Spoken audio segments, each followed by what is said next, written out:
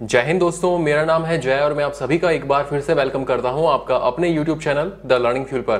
दोस्तों, एक बार फिर से हम हाजिर हैं आपके सामने एक नई गवर्नमेंट भर्ती अपडेट के साथ। जी हाँ दोस्तों, अग्निपथ भर्ती योजना के तहत इंडियन आर्मी ने एआरओ यानी कि आर्मी रिक्रूटिंग ऑफ़िस लुधियाना के अंतर्गत पंजाब के लुधियाना, मोगा, रूपनगर और साहिबजादा अजीत सिंह नगर के एलिजिबल मेल कैंडिडेट से अग्निवीर इंडियन आर्मी रैली भर्ती के लिए ऑनलाइन एप्लीकेशन इन्वाइट किए हैं। और आपको बता दें कि ये आपकी army rally CG complex near Jagraon bridge Ludhiana में होगी। दोस्तों, इस वीडियो में हम इस वैकेंसी के बारे में डिटेल से बात करेंगे तो वीडियो को एंड तक पूरा ज़रूर देखें। तो चलिए शुरू करते हैं और सबसे पहले बात करते हैं यहाँ पर पोस्ट नेम के बारे में। तो यहाँ पर आपकी पोस्ट रहेंगी अग्निवीर जीडी यानी कि जनरल ड्यूटी इसके अलावा Agniveer technical Agniveer clerk Agniveer SKT यानी कि स्टोर कीपर टेक्निकल इसके अलावा यहाँ पर आपकी पोस्ट रहेगी अग्निवीर ट्रेड्समैन टेंथ पास और अग्निवीर ट्रेड्समैन एट्थ पास तो ये हो गया आपकी पोस्ट अब हम बात करेंगे इसकी इंपॉर्टेंट डेट्स के बारे में।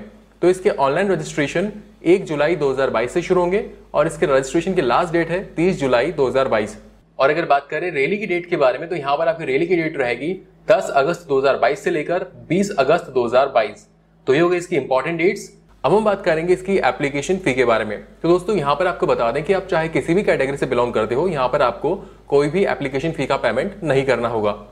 अब बढ़ते हैं आगे और बात करते हैं इसकी एज लिमिट यानी कि आपकी उम्र के बारे में। तो यहाँ पर आपकी उम्र 1 अक्टूबर 2022 के हिसाब से काउंट होगी।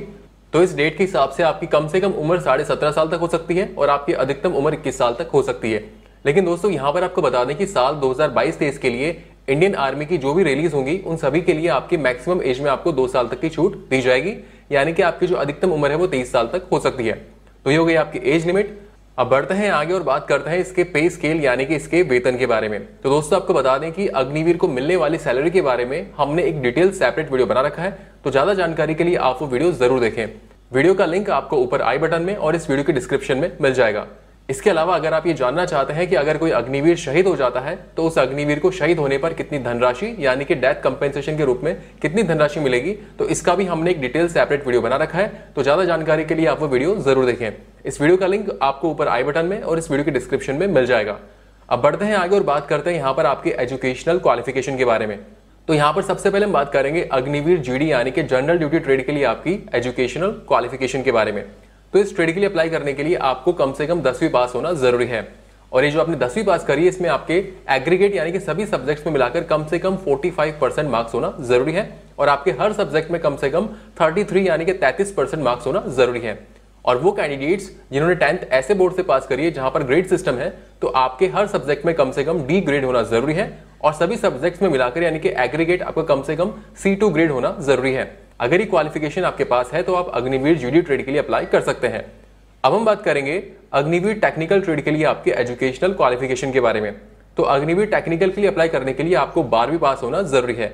और ये जो आपने बारहवीं पास करी, इसमें आपके पास पीसीएम यानी कि फिजिक्स केमिस्ट्री और मैथ्स इसके साथ ही साथ आपके पास इंग्लिश भी होना ज़रूरी है।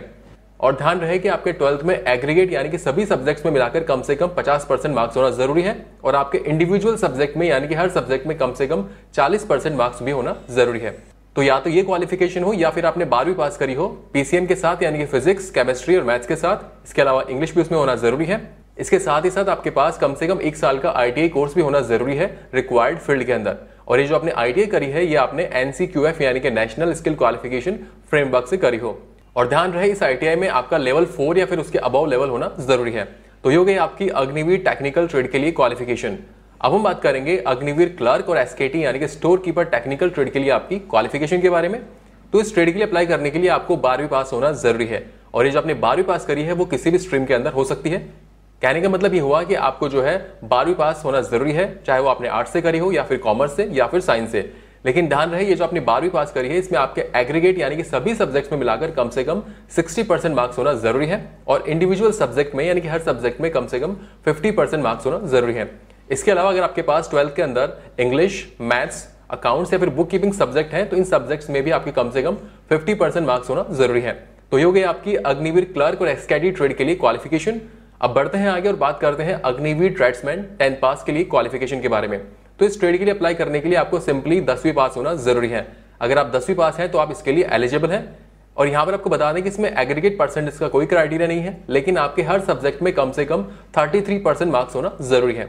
अब हम बात करेंगे अग्निवीर ट्रेड्समैन एट्थ पास के लिए आपकी क्वालिफिकेशन के बारे में। तो इस ट्रेड के लिए अप्लाई करने के लिए आपको सिंपली एट्थ पास होना ज़रूरी है। और इस ट्रेड के लिए भी आपका एग्रीगेट परसेंटेज का कोई क्राइटेरिया नहीं होगा, लेकिन आपके हर सब्जेक्ट में कम से कम 33 परसेंट मार्क्स होना ज़रूरी है। तो ये हो गई आपकी अग्निवीर ट्रेड्समैन एट पास के लिए क्वालिफिकेशन तो दोस्तों, ये थी आपकी ट्रेड वाइज एजुकेशनल क्वालिफिकेशन अब बढ़ते हैं आगे और बात करते हैं इसके सिलेक्शन प्रोसेस के बारे में। तो इसके सिलेक्शन प्रोसेस में आपके टोटल चार स्टेप्स होंगे। सबसे पहला स्टेप होगा आपका पीएफटी यानी कि physical fitness test PFT clear करने के बाद में आपका अगला टेस्ट होता है पीएमटी यानी कि physical measurement test PMT clear करने के बाद में आपका होगा मेडिकल एग्जामिनेशन और फिर लास्ट में आपका होगा रिटर्न एग्जामिनेशन तो यहाँ पर वन बाय वन करके हम इन सभी के बारे में डिटेल से बात करेंगे। तो चलिए शुरू करते हैं और सबसे पहले बात करते हैं पीएफटी यानी कि फ़िज़िकल फिटनेस टेस्ट के बारे में। तो पीएफटी में सबसे पहले आपकी होगी एक किलोमीटर की रनिंग और इस एक किलोमीटर रनिंग को दो ग्रुप्स में डिवाइड किया गया है ग्रुप फ़र्स्ट और ग्रुप सेकंड ग्रुप फ़र्स्ट में वो कैंडिडेट्स आएँगे जो इस 1.6 किलोमीटर रनिंग को 5 मिनट 30 सेकंड के अंदर कंप्लीट कर लेंगे। वो कैंडिडेट्स ग्रुप फ़र्स्ट में आएँगे और ऐसे कैंडिडेट्स को 60 में से 60 मार्क्स दिए जाएँगे। और वो कैंडिडेट्स जो कि 1.6 किलोमीटर रनिंग को कंप्लीट करने के लिए 5 मिनट इकतीस सेकंड से लेकर 5 मिनट 45 सेकंड तक का टाइम लेते हैं तो ऐसे कैंडिडेट्स को ग्रुप सेकंड में रखा जाएगा और आपको 60 में से 48 मार्क्स दिए जाएँगे। तो पीएफटी में ये हो गई आपकी 1.6 किलोमीटर की रनिंग 1.6 किलोमीटर रनिंग कंप्लीट करने के बाद में पीएफटी में आपका अगला टेस्ट होता है बीम यानी कि पुलअप तो यहाँ पर पुलअप टेस्ट के अंदर आपको मैक्सिमम 10 पुलअप्स निकालने होते हैं।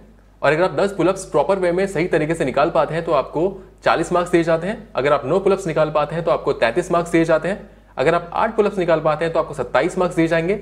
अगर आप 7 पुलअप्स निकाल पाते हैं तो 21 मार्क्स और अगर आप 6 पुलअप्स निकाल पाते हैं तो आपको 16 मार्क्स दिए जाएँगे। और वो कैंडिडेट्स जो कि 6 पुलअप्स भी नहीं निकाल पाते हैं तो ऐसे कैंडिडेट्स को डिस्कालीफाई कर दिया जाएगा।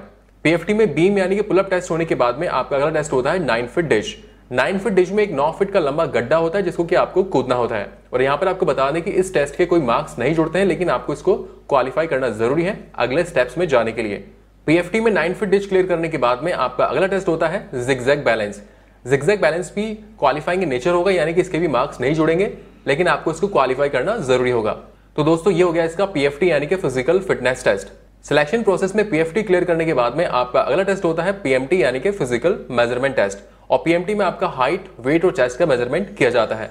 तो यहाँ पर हम ट्रेड वाइज आपके हाइट वेट और चेस्ट के बारे में बात करेंगे। तो यहाँ पर सबसे पहले हम बात करेंगे अग्निवीर जीडी ट्रेड के लिए आपकी हाइट के बारे में। तो इस ट्रेड के लिए आपकी हाइट कम से कम 170 सेंटीमीटर तक होना ज़रूरी है। अब हम बात करेंगे अग्निवीर क्लर्क और स्टोर कीपर टेक्निकल ट्रेड के लिए आपकी हाइट के बारे में। तो इस ट्रेड के लिए आपकी हाइट कम से कम एक सौ बासठ सेंटीमीटर तक होना ज़रूरी है। अब बढ़ते हैं आगे और बात करते हैं अग्निवीर टेक्निकल ट्रेड के लिए आपकी हाइट के बारे में। तो इस ट्रेड के लिए आपकी हाइट कम से कम 170 सेंटीमीटर तक होना ज़रूरी है। और अब फाइनली हम बात करेंगे अग्निवीर ट्रेड्समैन टेंथ पास और Agniveer tradesman eight pass trade के लिए आपकी हाइट के बारे में। तो इन दोनों ही ट्रेड्स के लिए आपकी हाइट कम से कम 170 सेंटीमीटर तक होना ज़रूरी है। और अगर बात करें यहाँ पर आपके चेस्ट के क्राइटेरिया के बारे में तो आप चाहे किसी भी ट्रेड के लिए अप्लाई कर रहे हो, आपका चेस्ट कम से कम 77 सेंटीमीटर तक होना ज़रूरी है और उसमें कम से कम 5 सेंटीमीटर तक का फुलाव भी होना ज़रूरी है। और अगर बात करें यहाँ पर आपके वेट यानी कि वज़न के बारे में तो यहाँ पर आपका वेट आपकी हाइट और आपकी एज के अकॉर्डिंग रहेगा। तो ये हो गया इसका पीएमटी यानी कि फ़िज़िकल मेज़रमेंट टेस्ट अब हम बात करेंगे यहाँ पर फ़िज़िकल स्टैंडर्ड्स में मिलने वाली छूट के बारे में। तो वो कैंडिडेट्स जो कि सन्स ऑफ़ सर्विसमैन यानी कि सर्विसमैन के बेटे हैं, या फिर सन्स ऑफ़ एक्स सर्विसमैन है, या फिर सन ऑफ़ वॉर विडो या फिर किसी एक्स सर्विसमैन की विडो के बेटे हैं, या फिर वो कैंडिडेट्स जो कि वॉर विडो के लीगली अडोप्टेड सन या फिर सन इन लो है तो ऐसे कैंडिडेट्स को हाइट में कम से कम दो सेंटीमीटर तक की छूट दी जाएगी। अगर बात करें चेस्ट के बारे में तो ऐसे कैंडिडेट्स को चेस्ट में कम से कम एक सेंटीमीटर तक की छूट दी जाएगी।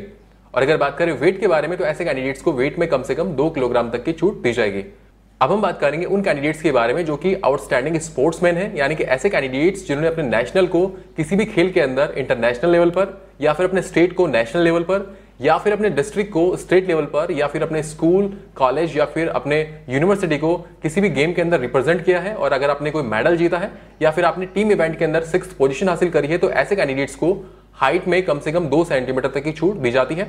और अगर बात करें चेस्ट के बारे में तो ऐसे कैंडिडेट्स को चेस्ट में कम से कम तीन सेंटीमीटर तक की छूट दी जाती है।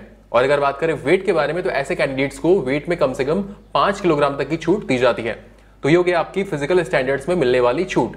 तो इसके सिलेक्शन प्रोसेस में पीएमटी क्लियर करने के बाद में आपका अगला टेस्ट होता है मेडिकल एग्जामिनेशन दोस्तों, यहाँ पर आपको बता दें कि अगर आप मेडिकल के बारे में ज़्यादा जानकारी चाहते हैं तो हमने इसका एक डिटेल सेपरेट वीडियो बना रखा है, जिसका लिंक आपको इस वीडियो के डिस्क्रिप्शन में ऊपर आई बटन में मिल जाएगा। तो ज़्यादा जानकारी के लिए आप वो वीडियो ज़रूर देखें।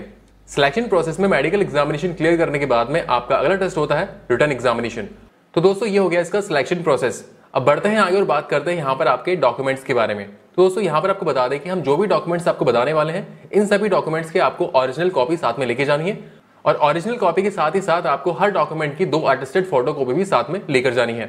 तो आइए जानते हैं कि वो कौन कौन से डॉक्यूमेंट्स हैं जो कि आपको रैली के टाइम साथ में लेके जाने हैं। तो यहाँ पर आपका सबसे पहला डॉक्यूमेंट है आपका एडमिट कार्ड इसके अलावा आपको जो है अपनी ट्वेंटी पासपोर्ट साइज़ फोटोग्राफ भी साथ में लेकर जानी है। और दोस्तों, यहाँ पर आपको बता दें कि ये जो आपकी फोटोग्राफ्स होंगी, इनका बैकग्राउंड कलर व्हाइट ही होना ज़रूरी है। फोटोग्राफ्स के अलावा यहाँ पर आपको अपना एजुकेशनल सर्टिफिकेट्स आपका डोमिसाइल सर्टिफिकेट इसके अलावा यहाँ पर आपको अपना caste certificate religion certificate school character certificate, इसके अलावा यहाँ पर आपको अपना character certificate unmarried certificate relationship certificate दोस्तों, यहाँ पर आपको बता दें कि रिलेशनशिप सर्टिफिकेट केवल उन्हीं कैंडिडेट्स को लेकर जाना है जो कि सन्स ऑफ़ सर्विसमैन है, या फिर सन्स ऑफ़ एक्स सर्विसमैन है, या फिर सन्स ऑफ़ वॉर विडो है। तो ऐसे कैंडिडेट्स को अपना रिलेशनशिप सर्टिफिकेट भी साथ में लेकर जाना है ताकि आपको पीएमटी यानी कि फ़िज़िकल मेज़रमेंट में छूट मिल सके। इसके अलावा दोस्तों, अगर आपके पास एनसीसी सर्टिफिकेट्स हैं तो वो भी आपको साथ में लेकर जाने हैं ताकि आपको रिटर्न एग्जामिनेशन में बोनस मार्क्स मिल सके। इसके अलावा अगर आपके पास कोई स्पोर्ट्स सर्टिफिकेट है तो वो भी आप साथ में लेकर जाएँ ताकि आपको रिटर्न एग्जामिनेशन में बोनस मार्क्स मिल सके। और इन सब के अलावा आपको जो है affidavit single bank account PAN card और आधार कार्ड भी आपको अपना साथ में लेकर जाना है। तो दोस्तों, ये वो डॉक्यूमेंट्स थे जो कि आपको रैली के टाइम साथ में लेकर जाने होंगे। अब फाइनली हम बात करेंगे कि आप इस वैकेंसी के लिए कैसे अप्लाई कर सकते हैं। तो इस वैकेंसी के लिए अप्लाई करने के लिए इंडियन आर्मी की ऑफिशियल वेबसाइट www.joinindianarmy.nic.in पर जाकर आप इसका फॉर्म फिल कर सकते हैं। और इसका फॉर्म फिल करने की लास्ट डेट है 30 जुलाई 2022 सो फ्रेंड्स ये वीडियो था इंडियन आर्मी ने एआरओ यानी कि आर्मी रिक्रूटिंग ऑफ़िस लुधियाना के अंतर्गत पंजाब के लुधियाना, मोगा, रूपनगर और साहिबजादा अजीत सिंह नगर के एलिजिबल मेल कैंडिडेट से अग्निवीर इंडियन आर्मी रैली भर्ती के लिए ऑनलाइन एप्लीकेशन इन्वाइट किए हैं उसके बारे में। दोस्तों, उम्मीद करते हैं कि यहाँ पर हमने आपको जो इन्फॉर्मेशन दी वो आपको अच्छी लगी होगी। अगर वीडियो अच्छा लगा हो तो इस वीडियो को लाइक और अपने दोस्तों के साथ शेयर ज़रूर करें। और फ्यूचर में इस चैनल पर इसी तरह के यूजफुल वीडियोस देखने के लिए इस चैनल को सब्सक्राइब करके बेल आइकन ज़रूर दबाएँ, जिससे आपको ऐसे ही यूजफुल वीडियोस के अपडेट्स मिलते रहें। So thank you for watching our video Jai Hind